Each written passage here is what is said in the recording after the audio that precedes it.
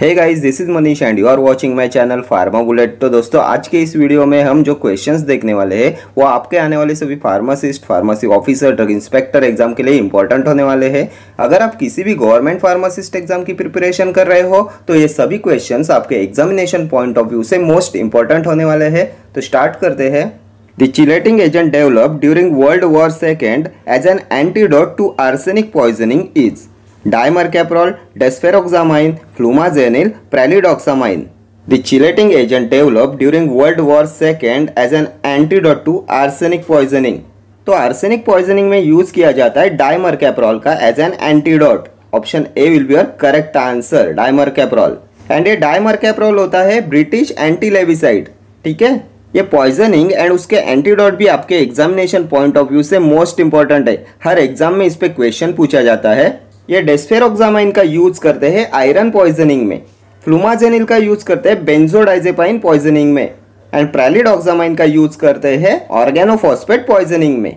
Then अभी आप मुझे बताएँगे एसिटामाइनोफेन के पॉइजनिंग में कौन से एंटीडॉट का यूज़ करते हैं? तो इसमें यूज़ करते हैं एन एसिटाइल सिस्टीन का। हेपेरिन पॉइजनिंग के लिए protamine sulphate warfarin poisoning vitamin K cyanide poisoning sodium nitrite sodium thiosulphate then atropine poisoning physostigmine ठीक है? ये सभी एंटीडोट्स आपके एग्जामिनेशन पॉइंट ऑफ़ व्यू से इंपॉर्टेंट है।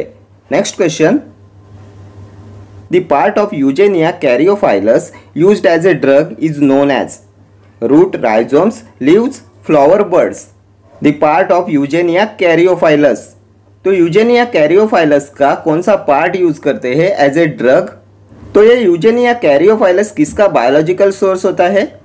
तो ये होता है क्लो का बायोलॉजिकल सोर्स एंड क्लो का कौन सा पार्ट यूज़ करते हैं एज ए ड्रग तो क्लो का यूज़ करते हैं flower buds as a drug option D will be your correct answer clove की फैमिली कौन सी होती है? तो क्लो की फैमिली होती है मिर्टेसी. मेजर केमिकल कॉन्स्टिट्यूएंट क्या है क्लो का? तो इसमें प्रेजेंट होता है eugenol clove oil contains about 70 to 90 percent eugenol ठीक है? कौन सा स्टोमाटा प्रेजेंट होता है क्लो में? तो इसमें प्रेजेंट होता है एनोमोसाइटिक स्टोमाटा एंड कौन सा पार्ट यूज़ करते हैं? क्लो का एज ए ड्रग तो ड्राइड फ्लावर बर्ड्स का यूज़ करते हैं एज ए ड्रग ठीक है? एंड ये क्लो होता है carminative antiseptic then dental analgesic then clove के एडल्ट्रेंट्स होते हैं mother clove clove stalk and exhausted clove ठीक है? Next question scabies can be effectively treated systemically by psoralens ivermectin permethrin, cotrimoxazole.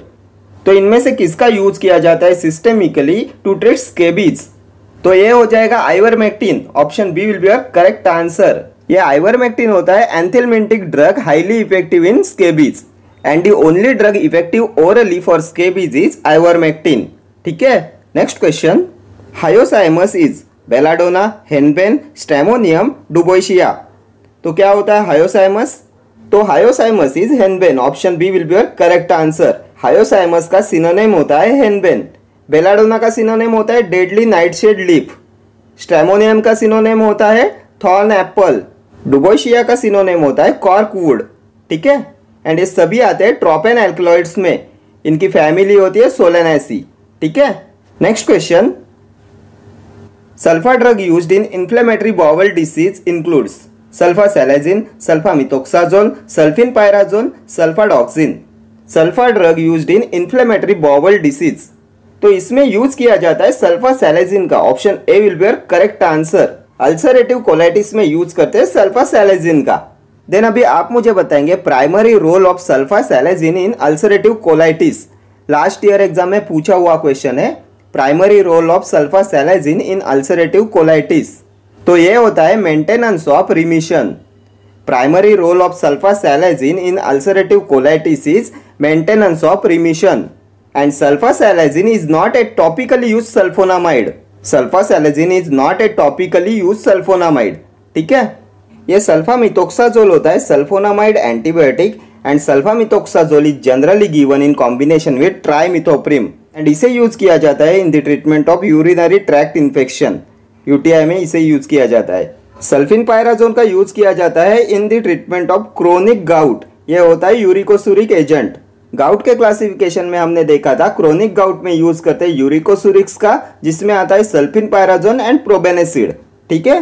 ये सल्फिन पायराजोन होता है uricosuric agent used in the treatment of chronic gout next question the drug that increases gastrointestinal motility is glycopyrrolate atropine neostigmine fentanyl, the drug that increases gastrointestinal motility.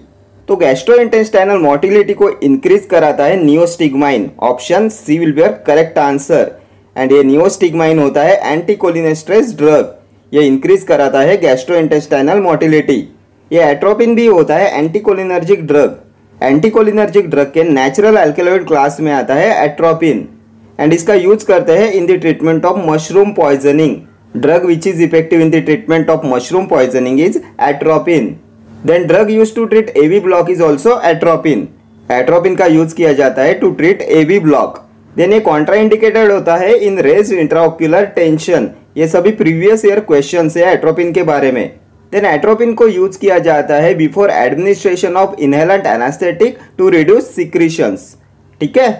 Then ये fentanyl होता है short acting opioid analgesic highly lipid soluble होता है fentanyl balance anaesthesia में use किया जाता है fentanyl का। एंड ये फेंटेनिल होता है hundred times more potent than morphine then fentanyl produces minimal cardiovascular effects and fentanyl is suitable for haemodynamically unstable patients ठीक है? Next question In congestive cardiac failure, digitalis glycosides are used because it increases the heart rate, the force of myocardial contraction, the venous pressure, the cardiac filling pressure. तो किस लिए use किया जाता है? Digitalis glycosides का in congestive cardiac failure तो digitalis glycosides का होता है positive ionotropic effect so option B हो जाएगा आपका correct answer it increases the force of myocardial contraction इनका होता है पॉजिटिव आयोनोट्रॉपिक इफ़ेक्ट देन ये डिजिटलिस कॉज कराता है cumulative toxicity in geriatric patients that's why in geriatric patients the dose of digitalis is reduced because of cumulative toxicity then अभी आप मुझे बताएँगे severe digitalis toxicity is best treated by किसका use करते हैं? To treat severe digitalis toxicity तो इसमें use किया जाता है Fab fragment of digitalis antibodies का। ठीक है? ये भी मोस्ट रिपीटेडली आस्क क्वेश्चन है एग्ज़ाम में। Severe digitalis toxicity is best treated by Fab fragment of digitalis antibodies ठीक है? Next question definition of drug store comes under the section of 65 15 C 3 C 3 E 55 15 A तो कौन से section में आता है डेफिनेशन ऑफ़ ड्रग स्टोर तो ये आता है 65 15 सी में. Option A will be our correct answer the definition of drug store comes under the section of 65 15 C chemist and druggist के जो रूल्स होते हैं, वो कवर होते हैं अंडर सेक्शन 65 15 सी ठीक है? Next question garlic comes under family Rutaceae Zingiberaceae Liliaceae Labiatae तो कौन सी होती है गार्लिक की फैमिली तो गार्लिक की फैमिली होती है Liliaceae option C will be our correct answer and garlic का बायोलॉजिकल सोर्स होता है एलियम सटाइवम ये भी बहुत बार एग्ज़ाम में पूछा जाता है गार्लिक की फैमिली एंड गार्लिक का बायोलॉजिकल सोर्स एलियम सटाइवम ठीक है? ये रूटेसी फैमिली होती है lemon oil and orange oil की। जिंजी जिंजीबेरेसी फैमिली होती है टर्मरिक की। एंड तुलसी की फैमिली होती है लेबिएटी ठीक है?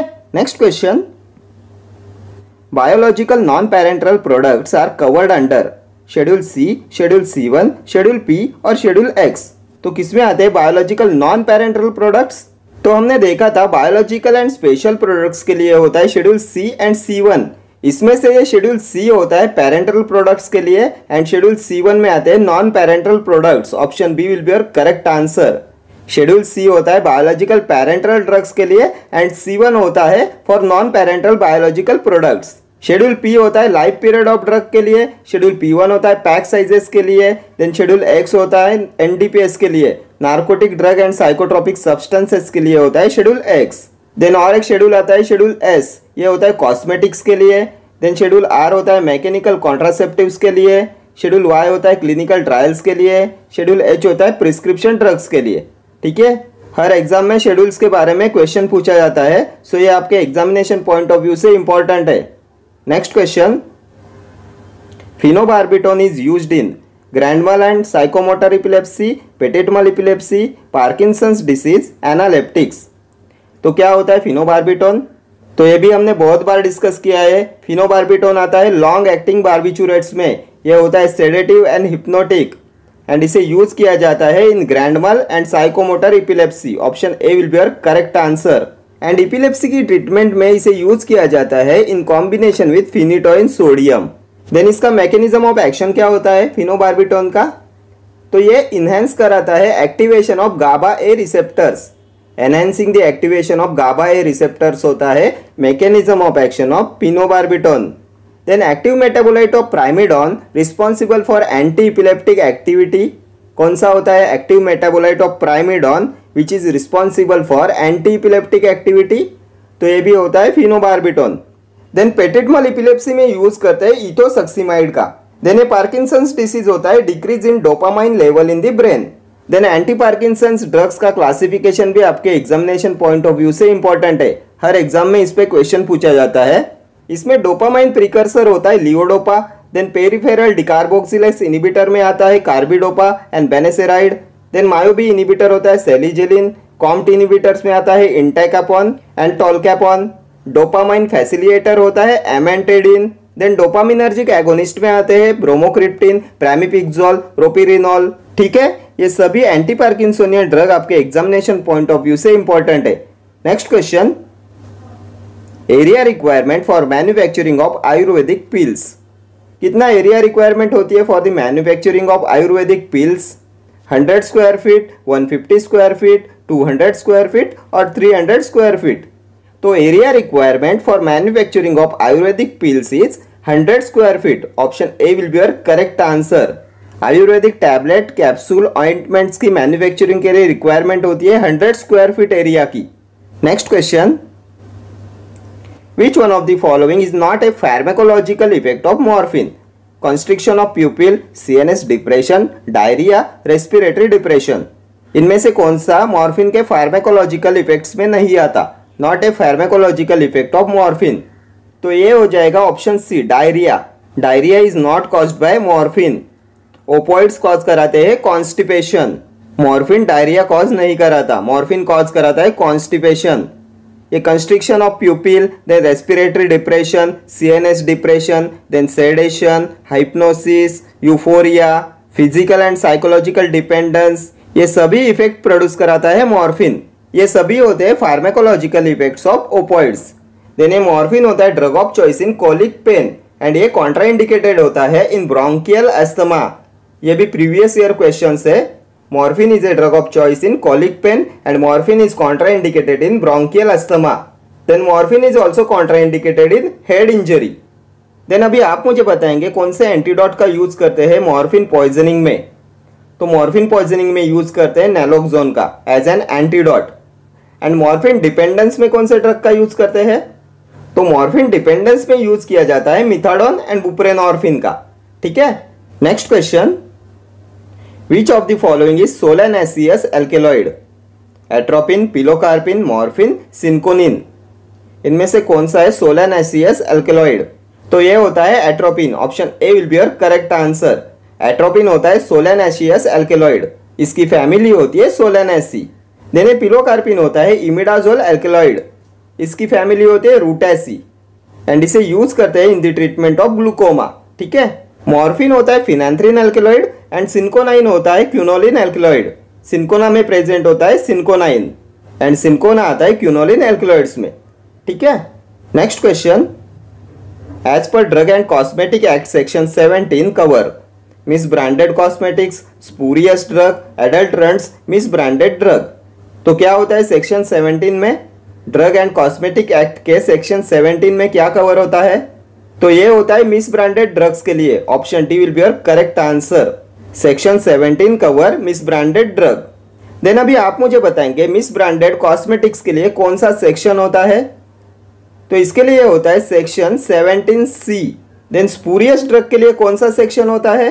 तो स्पूरियस ड्रग कवर होते हैं under section 17 B then adulterated drugs के लिए होता है सेक्शन 17 ए सेक्शन 17 होता है मिस ब्रांडेड ड्रग्स के लिए सेक्शन 17 ए होता है एडल्ट्रेंट्स के लिए सेक्शन 17 बी होता है स्पूरियस ड्रग्स के लिए सेक्शन 17 सी होता है मिस ब्रांडेड कॉस्मेटिक्स के लिए, ठीक है? ये चारों सेक्शंस आपके एग्जामिनेशन पॉइंट ऑफ़ व्यू से मोस्ट इंपॉर्टेंट है।